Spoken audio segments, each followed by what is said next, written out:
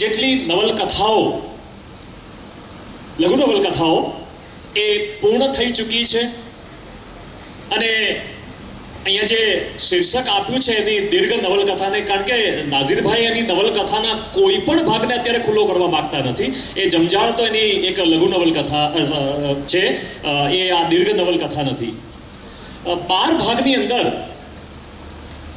એમના અઢાર હજારથી વધારે પુષ્ટો લખાઈ ચૂક્યા છે.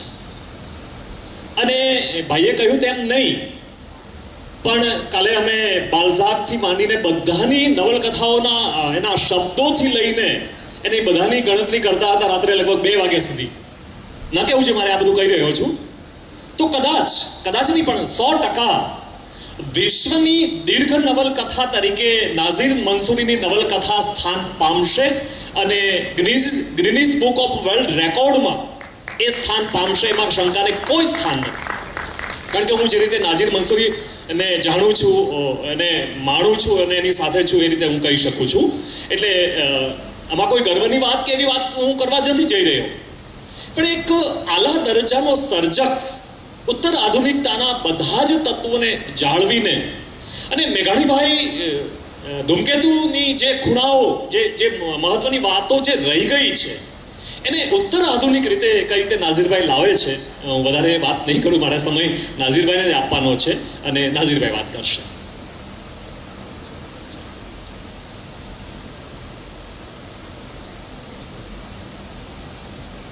હલો. અહીંયા મારી સામે બેઠેલા શ્રોતાઓનો નમસ્કાર કરું છું.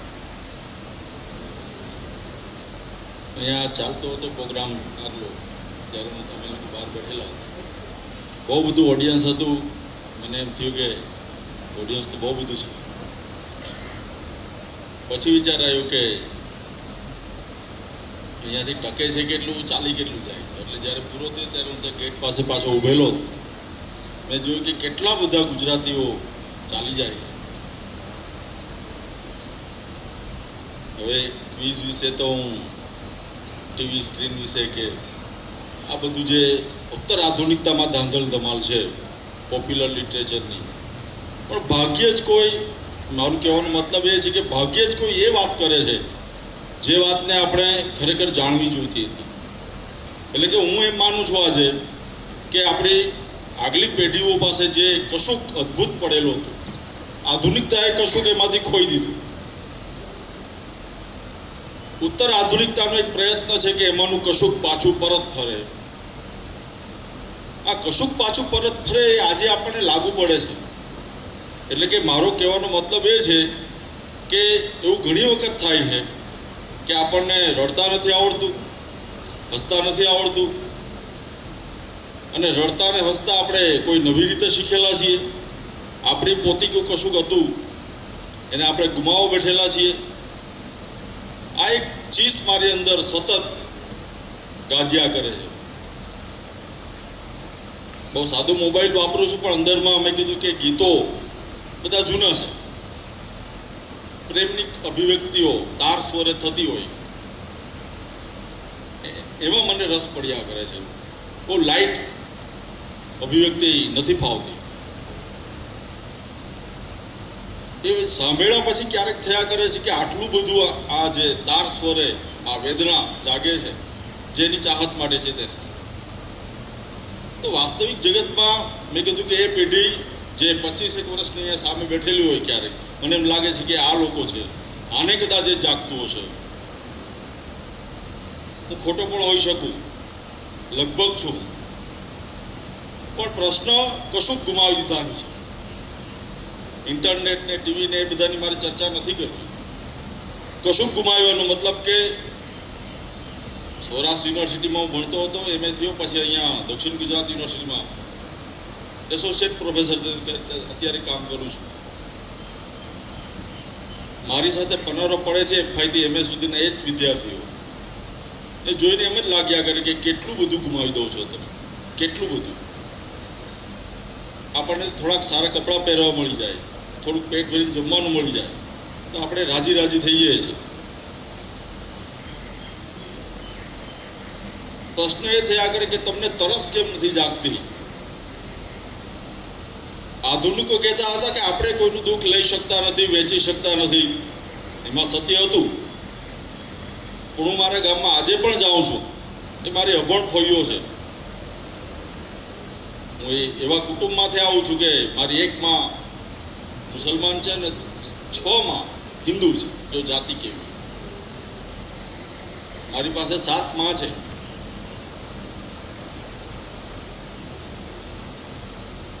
મારો મૂળ પ્રશ્ન કે આજે પણ ત્યાં જાઉં તો એ લોકો કંઈ જાણતા નથી કે આ કોલેજમાં કોઈ પ્રોફેસર છે કે આ છે તે છે? એમ છે કે કોઈ મોટો સાહેબ છે કોલેજમાં ક્યાં? કે ભણાવતો છે કે નાના છોકરાને બદલે મોટા છોકરા ભણાવે, આવું કદાચ એ લોકો માની લે. પણ જાઉં એટલે મને અનુભવ થયા કરે. એમએમાં તો ત્યારે ખ્યાલ હતો દુખણા લેવાની પ્રથા છે કાઠિયાવાડના વિસ્તાર તો દુખણા લેવા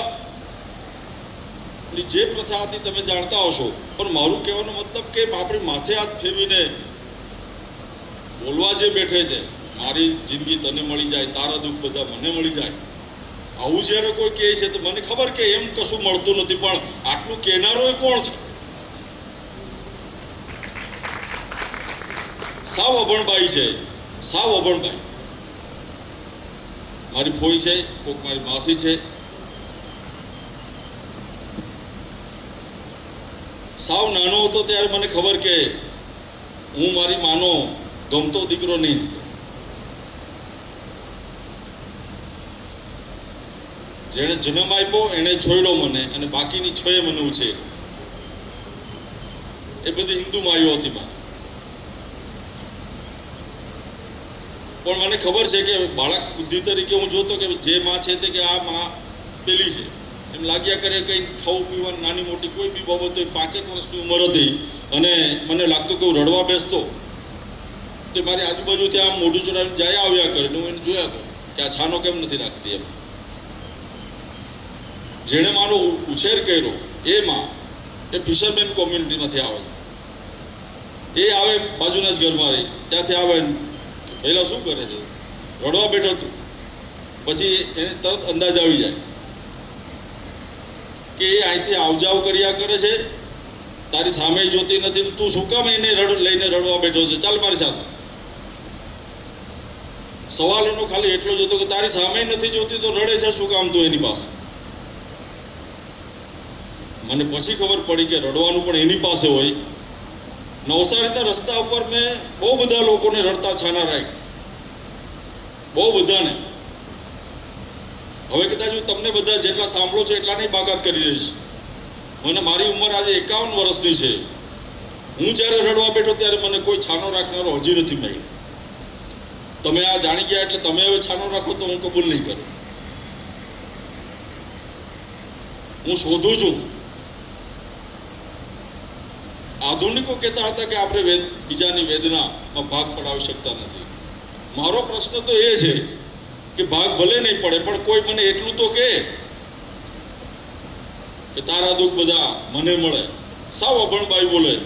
મેં કીધું કે માર્જિનાલિટી સાહિત્યમાં જે રીતે ગુજરાતમાં ખાસ કરીને, હું જાય મારું સાહિત્ય લખું છું, એમાં પચીસેક વર્ષ થયા, મને ગુજરાતમાં ઓછા લોકો ઓળખે છે. મને ગુજરાતની બહાર, ભારતીય સાહિત્યમાં બહુ બધા ઓળખે છે. ઇંગ્લિશમાં અનુવાદો થયા છે કેટલીક કૃતિઓને. એને કારણે પણ ખરું. અથવા હું જે ભાષામાં લખું છું, ગુજરાતી ભાષામાં. મારું અંગ્રેજી એટલું સારું નથી, પણ હિન્દી તો છે. અનુવાદ પણ હું કરું છું. પણ સતત થયા કરે છે કે લખવું છે મારે મારી ભાષા. મારે મારી ભાષામાં જ લખવું છે. આપણે જેને ભાષા કહીએ છીએ ત્યારે ઘણી વખતે ચર્ચાઓમાં અમે સાંભળ્યા કર્યું, એક અર્થ હશે કે ભાષા તો ખાલી માધ્યમ છે. હું કબૂલ કરું છું કે છે.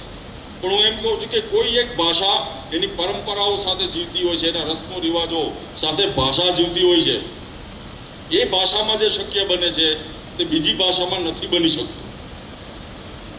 મેં એક પ્રથાની વાત તમને હમણાં કરી. મેઘાણીભાઈ કાઠિયાવાડ વિશે જે કંઈ સમજતા હતા, આપણે માનીએ છીએ કે ગાંધીવાદી લેખક હતા, વાસ્તવવાદી સાહિત્યકાર હતા, પણ હું એમ માનું છું એમનું સોથી બારવટિયા વાંચ્યા પછી અનુભવ થયેલો.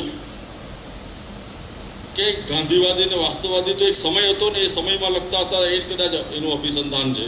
પણ આ લેખક કશુંક ઉત્તર આધુનિકતાનું પણ આમાં પડેલું છે. કશુંક બાવાવાળો કરીને જે બારવટીઓ હતો એક્ઝેક્ટલી મારા ગા, ગામમાં જ કર્નલ એ સમયના અંગ્રેજ એનું અપહરણ કરી ગયેલો મારા ગામમાંથી જ આવીને. અને પછી પોતાની સાથે ફેરવતો હતો. બેભાન જેવી અવસ્થામાં કર્નલ આ બારવટીઓ ગામમાંથી ધોળા દિવસે ગામમાંથી પસાર થતો ત્યારે એમ કહેવાતું કે પાણી ભરીને આવતી સ્ત્રીઓ, પેલા કર્નલને ઊંધો પડેલો જુએ, એટલે લાજ કાઢતી હોય ને એ લાજ ઊંચી કરી નાખે. તારી અમારે શરમ શું રાખવાની? આની દશા તો જો ઘોડા પર આમ ફેરવે છે. અર્થ એ જ હતો. ઘૂમટો તાણે અને આમ કરીને ખોલી મૂકે. આ બે બે વસ્તુના કશાક અર્થો ક્યાંક પડેલા છે. એના સાથીદારો તીખા માણસો ભરવટિયાના હતા, તપી જતા. એની સામે જોઈને બાવળો કહેતો કે, જાઓ તો ભાઈ છે. કોઈક એને મોઢા મોટ કહેતી કે આટલો બહાદુર શું કરે છે તું? કે, હા ભાઈ, આટલું કઈ નીકળી જાય કાઠિયાવાડ તરીકે જેને ઓળખીએ છીએ, એમાં મેં કીધું કે માર્જિનાલિટી ભરપૂર જગ્યાએ પડેલી છે. દરિયા કિનારો સોળસો કિલોમીટર છે આપણી પાસે. આગલા પૂર્વજો ગુણવંતરાય આચાર્યથી માંડીને સુકાની સુધીના દરિયા ઉપર લખનારા. મેં જોયું છે બધું. પણ છતાં એમ જ થયા કર્યું કે આમાં ક્યાં દરિયો છે? આ તો ઓફશોર લિટરેચર છે. કોસ્ટલ લિટરેચર તરીકે જેને ઓળખીએ છીએ, એ તો એક સંજ્ઞા તરીકે ભલે હું વાપરું છું. પણ મૂળ પ્રશ્ન તો મારો એ હતો કે દરિયા કિનારામાં વસ્તી એ જાતિઓ કંઈ ખાલી માછીમારો જ નથી, અલગ અલગ ઘણી જાતિઓ છે. એ માછીમારોથી લઈને ઊંડાણ સુધી જુનાગઢ ને રાજકોટ ને બધું કાઠિયાવાડ જ છે. અને બધાની પરંપરાઓ લગભગ સરખી જેવી છે. સાવ દરિયા કિનારાનું જે છેવાડાનું ગામડું છે તે, એ પણ. કદાચ આ બધી વસ્તુઓ તમે જાણો છો, મારે મૂળ વાત બીજી કેવી છે? આજે આપણે જીવીએ છીએ બધા, ઉત્તર આધુનિકતાના એક સમયમાં.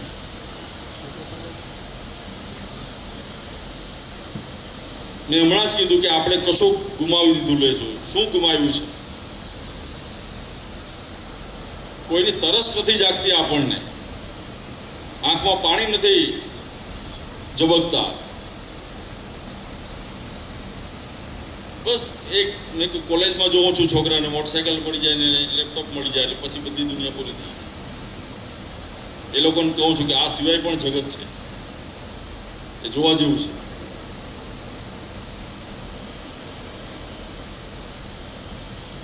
મારે અંગત વાત નથી કેવી પણ મેં કીધું કે કાઠિયાવાડમાં એક શબ્દ વપરાયા કરે છે ઝાકારો આધુનિકો એક શબ્દ વાપરતા હતા રિજેક્શન બધી સેન્સિબિલિટીમાં ખાસ કરીને સ્ત્રી પુરુષના સંબંધમાં, આ રિજેક્શન એ બહુ ડેડલી ઝોન છે. રિજેક્શન સહન કરનારો આધુનિકો ચર્ચા કરતા હતા. પણ મને ખબર પડે કે કાઠિયાવાડમાં એક શબ્દ છે જાકારો આ રિજેક્શનનો એક્ઝેક્ટલી પર્યાય છે. એક્ઝેક્ટલી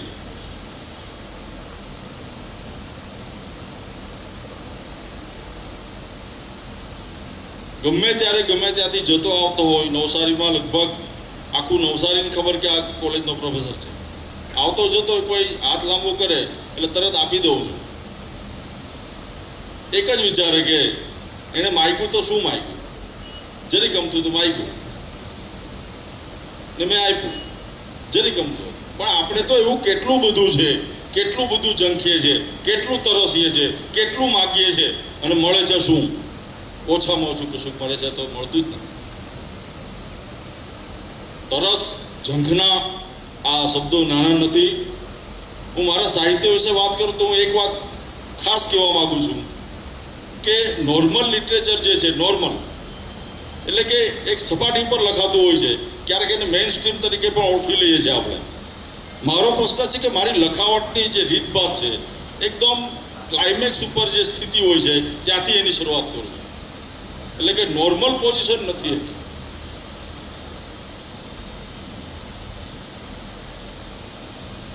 ગામમાંથી વાહન લઈને ચાલી જાય એ માણસ. એ જેને વડો વડો માલમ તરીકે આપણે ઓળખીએ છીએ. અંગ્રેજીમાં એને કેપ્ટન કહે છે, વાહણ. અહીંયા થોડાક પુસ્તકો વેચાતા હતા, ત્યારે મેં સચિનને કીધું, મેં કહું આ વાણ છે કે હોડી છે? સચિન ખૂબ હશે મેં કહું મુખ પુસ્તક ઉપર વાણ કોને કહેવાય? આટલું તો કમસે કમ ખબર હોવી જોઈએ. પણ મેં કીધું કે વાણ ને હોડી ને આપણે આ બધું ઓછું જાણીએ છીએ. હું વાત કહેતો હતો બીજું કે એ ચાલી જાય ને એની ઝંખના જ્યાં પાછળ છે એ સ્ત્રી. મેં જોયેલા છે, મારા કુટુંબમાં કોઈ ચોવીસ ચોવીસ વર્ષ સુધી વાર જોઈને બેઠી હતી. કોઈ બાર વર્ષ સુધી વાર જોઈને બેઠી હતી. એમે થયો ત્યારે થોડીક સમજ આવેલી તો પૂછતો પાસે કેટલીક વાર જોશે? મને કે ભલે આખી જિંદગી ચાલી એને અહીંથી જતા શરમ નહીં આવી, મને શરમ આવે છે.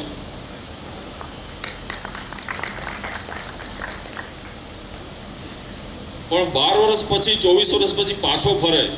માનો કે વીસ વર્ષનો હતો ને ગયેલો, એકદમ જેને કારણ કે પ્રતિભાશાળી માણસ હોય છે વાહનનો માલમ તરીકે જેને ઓળખીએ. એ કેપ્ટન એક્ઝેક્ટલી એ દેશી પદ્ધતિઓ રસ્તા શોધવા, આકાશના તારાઓથી લઈને દરિયાનું પાણી સુધી પણ મારો પ્રશ્ન કે એક એવો પ્રતિભાશાળી માણસ, એ એ સમય આજથી ચાલીસથી પચાસ વર્ષ પહેલાં ગામમાં વડો માલમ આવતો જતો હોય, વડા માલમની નિશાની હતી એની પાઘડી.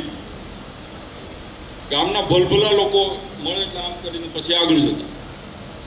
એક વાત વિચારીને કે આ આ કાંઠેથી છેક લિસ્બોન, છેક આફ્રિકા ક્યાં ક્યાં જગ્યાએ એનું પહોંચાડે છે? આપણે તો થોડાક રસ્તા શોધવામાં પણ કેટલા ફાંફા પડી જાય છે. આ તો સીધો દરિયાના પાણી જ દેખાય તે પાણીમાં એ રસ્તો શોધે છે. એટલે એની ઇજ્જત બહુ મોટી હતી. પણ મેં કીધું કે એ માણસ, માનો કે અનમેરિડ હોય અને ગામમાં આવે, તો એને ચાહનારી એક નહીં બે નહીં પાંચ નહીં સાત પણ હોય. પણ એની પણ એને પરવા નહીં હોય, કદાચ એવું ક્યારેક લાગી આવે આપણને. પણ આ સાત સિવાય કોઈ આઠમી હોય ને, જે ખાલી મારે શબ્દ નથી વાપરવો પણ હું કહ્યું કહેવા માગું છું. જેન્ડર ફિલોસોફી ફેમિનિઝમમાં મારો ભરપૂર વિશ્વાસ છે. પુરુષ ધિક્કાર જેને કહેવાય છે એ નથી મારા. પણ પુરુષોને જેને સતત એમ લાગ્યા કરે છે કે આ કશું કેમ ખૂટે છે? આ કશું કેમ ખૂટે છે? એટલે કે પુરુષ હોવાને કારણે આપણા આપણી અંદર કેટલીક વસ્તુ સહજ હોય છે, જડતા. તમને જો કે વિચારે આવશે કે મારો દેખાવ સંપૂર્ણ એ જોડસુ પુરુષ જેવો જ છે. દેખાવા જે છે. મને કહે મારી બેન કે આ આવું કરે છે તો ગુસ્સો કેમ નથી કરતો? એક લાભો મારી દેવાનો. મેં કીધું કે જો અડતાલીસ વર્ષની ઉંમર થઈ છે, હું કોઈ આજ સુધી કોઈ સ્ત્રીને મેં લાભો નથી માંગ્યો એની મજાક સહન કરી છે. એના કટાક સહન કર્યા છે. માથું નીકળી જાઉં પુરુષ હોય તો મેં કીધું કે જો આજથી સો વર્ષનો સમય હોત ને ત્યારે હું હોત તો બે બે પિસ્તોલો બાંધી હોત, તલવાર બાંધી હોત. અને વાત કીધી હોત કે ચાલ ઉતર તો આવી જા. બધા લડવામાં મને બાદ નથી. હું તો કહેતો હતો કે વડો માલમ જ્યારે કાંઠે ઉતરતો ત્યારે આવી કોઈ સ્ત્રી શરીર ને કોઈ લાલસા ને ખાલી કહે કે એક વખત ઘરે આવીને ચા પાણી તો પીવા આવો.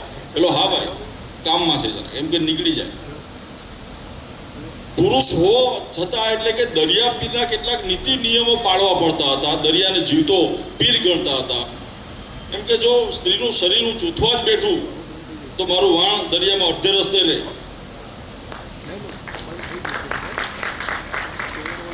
એ કામ હું નહીં કરું. જ્યાં એ સમયે પણ આપણે જાણીએ છીએ કે જ્યાં દરિયા કિનારે એ ગોદીમાં વાણ લાંગરતા ને, એ જગ્યાએ પણ વેશ્યાઓના કોઠા હતા. એવા કેટલાય વડા માલુમો છે, મેં જેને સાક્ષાત મળ્યો, મળેલો છું. એસી વર્ષની ઉંમર હોય તો. ને પૂછું એ પ્રશ્નો, તો એ કહે છે કે મારા પણ એવો એક પણ ખલાસી નહીં હોય. હું પહેલાંથી જ કહેતો કે આવું જો હોય, તો મારા વાણ પર એને રહેવું નહીં. બીજી જગ્યાએ નોકરી લઈ લેજો. મારા વાણ પર તું નહીં.